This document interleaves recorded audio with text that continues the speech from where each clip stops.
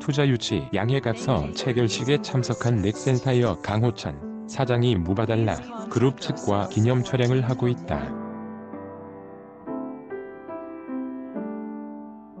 사진 넥센타이어 넥센타이어 7190 0.98K UAE 아랍에미레이트 국부 펀드인 무바달라 인베스트먼트 컴퍼니 이하 무바달라로부터의 해외 투자를 유치한다고 20일 밝혔다.